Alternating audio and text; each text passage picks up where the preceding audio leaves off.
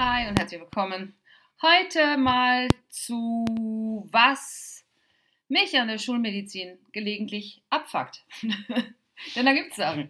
Ähm, ich, der, der, geneigte Zuschauer unter euch äh, weiß, dass ich von, von, dass ich Probleme habe, Pharmakologie zu lernen, weil mich Pharmakologie absolut nicht interessiert, weil ich für 80 bis 90 Prozent der ähm, Medikamente eine Lifestyle-Interventionsalternative kenne, ähm, die völlig frei von Nebenwirkungen ist, ähm, die nichts durcheinander bringt, bei der es keine Interaktion mit anderen Medikamenten gibt und all so ein Scheiß.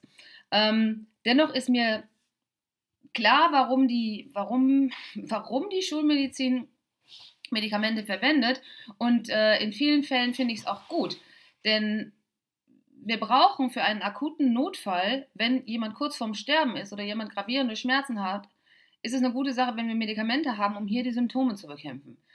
Ähm, in anderen Fällen werden Symptome bekämpft, weil Symptome äh, dafür sorgen, dass man früher stirbt. Und das Hauptziel von Medikamenten, wenn es jetzt nicht gerade eine Akuttherapie ist, wie Schmerzen beseitigen oder äh, jemanden beruhigen oder jemanden durch eine schlimme Situation bringen oder jemanden operieren, ähm, verschreibt die Schulmedizin trotz der Nebenwirkungen die Medikamente meistens, weil sie in klinischen Studien gezeigt haben, dass sich die Lebenszeit des Menschen durch diese Medikamente verlängert. Und dadurch nimmt man dann die Nebenwirkungen in, in Kauf. Ähm, und das ist, ähm, ich habe ein bisschen gebraucht, bis ich das gerafft habe, was das überhaupt soll mit Medikamente verschreiben überhaupt. Und äh, viele Leute in der alternativen Gesundheitsszene äh, sagen im Moment, ist die dass die Ärzteschaft die, die Patienten nur abhängig machen will von diesen Medikamenten, dass sie dauernd Geld verdienen und so weiter und so fort. Aber irgendwie ist es halt, es ist schon, es steckt eine gute Idee dahinter, denn der Mensch soll länger leben. Ähm, aber dann frage ich mich immer wieder, warum nicht die, die Lifestyle-Intervention? Warum nicht den Lebensstil verändert? Was ist hier los? Und bei manchen Medikamenten ist es dann sogar so, und dann reg ich mich maßlos auf, dass die nicht nur Nebenwirkungen haben, sondern dass die Nebenwirkungen die Ursache der Krankheit verschlimmern. Und ich will das mal darlegen am Beispiel der Thiaziddiuretika. Das ist eine Form von, von Blutdrucksenkern, die verschrieben wird bei Leuten, die Bluthochdruck haben und die eine Herzinsuffizienz haben. Äh, und die Herzinsuffizienz kommt im Allgemeinen auch von zu hohem Blutdruck und von, von Herz-Kreislauf-Erkrankungen, also Plaques-Ablagerungen. Ähm, und der Weg, auf dem Thiaziddiuretika wirken, ist, dass man mehr Wasser ausscheidet, damit auch weniger Wasser in seinen Gefäßen hat, damit einen geringeren Blutdruck hat. Und ähm, ich habe jetzt dieses Mal beim Pharma-Lernen, weil ich dachte, okay, irgendwie, ich, ich kann mir das ja nicht merken, weil ich da kein Interesse dran habe. Ähm, also habe ich gedacht, ich ich drehe es mal um, sodass ich über die Nebenwirkungen, die ich so zum Kotzen finde, eine emotionale Reaktion in mir habe und mir das leichter merken kann. Und im Falle der Thiazid-Theoretiker ähm, gab es dann folgende Nebenwirkungen. Ähm, der LDL-Cholesterinspiegel steigt, wenn man ihn nimmt. Der Blutzuckerspiegel steigt, wenn man ihn nimmt, und der Harnsäurespiegel, der schlussendlich dann zu Gicht führt, steigt. Wenn wir jetzt davon ausgehen, es ist völlig egal aus welchem Lager, aus dem Plant-Based oder Paleo-Lager oder so, wenn wir davon ausgehen, dass sowohl hohe Zuckerspiegel als auch zu hohes LDL-Cholesterin dafür sorgen, dass man Herz-Kreislauf-Erkrankungen bekommt und dafür sorgen, dass man Plaque bekommt und über diese Ablagerung der Plaques die Gefäße steif werden, die Gefäße kein, kein äh, NO mehr produzieren können, die Gefäße immer enger werden und der Druck steigt und der Zucker die Gefäße schädigt, sodass auch da die Gefäßwand wieder nicht richtig funktioniert und es zu Entzündungen kommt, dann, dann ist, dann verschlimmernd die Nebenwirkung dieser Thiaziddiuretika die Ursache für die Entstehung des Bluthochdrucks und für die Entstehung der Plaques und für die Erstehung der Herzinsuffizienz. Und so trage ich durch die Therapie mit Thiazid-Diuretikern immer noch weiter dazu bei, dass die Ursache für die Krankheit noch verstärkt wird. Und ich weiß nicht, wo da das Ende ist. Also abgesehen davon, dass dann natürlich äh, der Blutdruck einerseits zwar sinkt, weil ich weniger Wasser im Körper habe, aber die Gefäße immer noch enger werden und der früher oder später auch wieder steigen wird und ich dann wieder irgendwas anderes machen muss. Ist das keine gute Idee? ist, das, ist das irgendwie nicht einsehbar? Darüber hinaus, wenn natürlich der Blut äh, hier Zuckerspiegel steigt und wenn das LDL steigt und wenn die Harnsäure steigt, dann muss ich auch dagegen wieder umso mehr Medikamente nehmen, um das im normalen Bereich zu halten. Ich frage mich dann immer, wo geht das los? Also Thiazid-Diuretika sind nicht unbedingt das erste Medikament, was man verschreibt bei Bluthochdruck, aber vielleicht schon das zweite oder dritte. Ähm, und dann kommt da ein ganzer Rattenschwanz an Medikamenten hinzu, um die Nebenwirkungen wieder zu beseitigen. Und dabei weiß man aus haufenweise Studien, wie effektiv man den Blutdruck senken kann durch Ernährungsumstellung. Ähm, Dr. Goldhammer vom True North hat ähm, eine Studie gemacht über, über Wasserfasten und Blutdrucksenkung, was irgendwie naheliegend ist äh, und aber halt auch kein Dauerzustand. Aber es gibt abgesehen davon halt auch ähm, die Dash-Ernährung. Das ist äh, Diet for the was äh, SH, ich habe vergessen, wofür es ist. Also es ist eine spezielle Ernährung, die man, die man an den Tag legen soll, um ähm, seinen sein, sein Blutdruck zu senken. Was eine ziemlich fett halt, fettarme, ziemlich vollwertige, ziemlich pflanzenlastige Ernährung ist, die äh, Fett reduziert, also ähm, aber immer noch, immer noch ähm, Milchprodukte und auch äh, Fleisch enthält. Was damit zusammenhängt, dass man sich gedacht hat, ähm, dass der Patient das ohne Milchprodukte und Fleisch sowieso nicht durchhält. Und, und ich frage mich immer, also es ist, es ist nicht so, dass es steht in je, im Lehrbuch steht überall, äh, erst wenn Ernährungsumstellung und Umstellung auf Sport versagt hat, soll man anfangen, Medikamente zu geben. Aber die Sache ist die, die Ernährung versagt nicht. Sie funktioniert immer.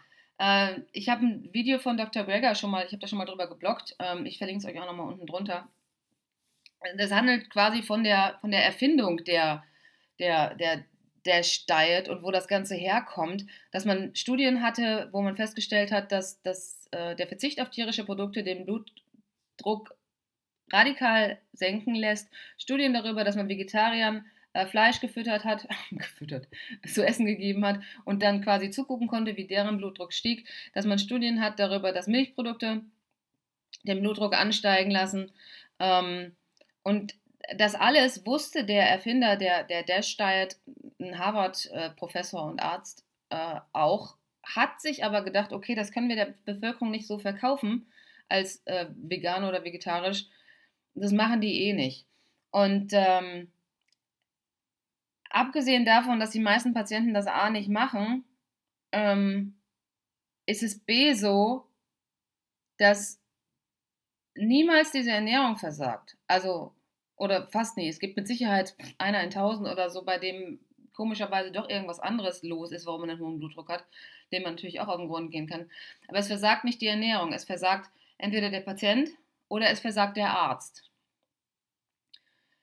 Der Patient in der Umsetzung, weil er, keine Ahnung, Gelüste hat, sein Belohnungssystem irgendwas anderes will, weil er nicht genug Motivation hat, ähm, weil ihm niemand, da sind wir beim Arzt, weil ihm niemand die Zusammenhänge erklärt hat, äh, weil ihm niemand konkret aufgezeigt hat, was, was er wirklich machen muss, warum das so relevant ist, was genau daran relevant ist. Und ich finde es so schrecklich traurig, wenn dann in dem Moment gesagt wird, okay, die Ernährung hat versagt und äh, hier nimm deine Medikamente und die Medikamente machen dann Nebenwirkungen, die und dann machst du, also das wird alles noch schlimmer. Ich verstehe das nicht. Ich habe da, ich finde das, ich verstehe nicht, warum, warum Ärzte nicht verstehen, was, wo hier die Relevanz ist. Ähm, so wie meine Hausärztin denkt, mediterrane Ernährung sei eine Ernährung, die viel Weißbrot enthält, Rotwein enthält und Olivenöl enthält. Anstatt wirklich darauf zu fokussieren, es geht hier es geht um Obst, Gemüse, Getreide und Hülsenfrüchte. Gerne vollwertig. Eigentlich ist die Dash-Ernährung auch gar nicht mal so wahnsinnig weit entfernt von dem, dem, was die DGE empfiehlt. Aber es macht einfach keiner. Es macht keiner. Es weiß keiner, wie es geht. Ich habe gestern schon wieder mit Leuten äh, hier in den Kommentaren gesprochen, die nicht in der Lage sind, Gemüse zu essen, weil denen schlecht wird beim Gemüseessen. Ich weiß nicht, ob, ob die Ärzte mehr auf die Patienten einwirken müssen. Ich denke ja. Ich denke, dass das wirklich konkret gesagt wird, hör mal, du hast hier die Wahl zwischen, deine Krankheit wird schlimmer, ähm, du kriegst die und die Nebenwirkungen, du musst für immer, für den Rest deines Lebens die und die Medikamente nehmen oder du hast hier die und die Alternative.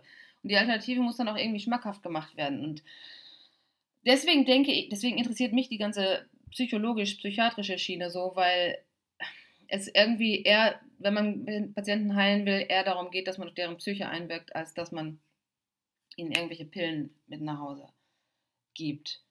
Und das ist so, das ist zu oft so. Ich, ich meine, ich finde es gut, ich finde es gut, Theoretika zu verschreiben, in dem Moment, wo der Patient halt wirklich mit einem Blutdruck von, von, von 190 zu 110 oder sowas dasteht.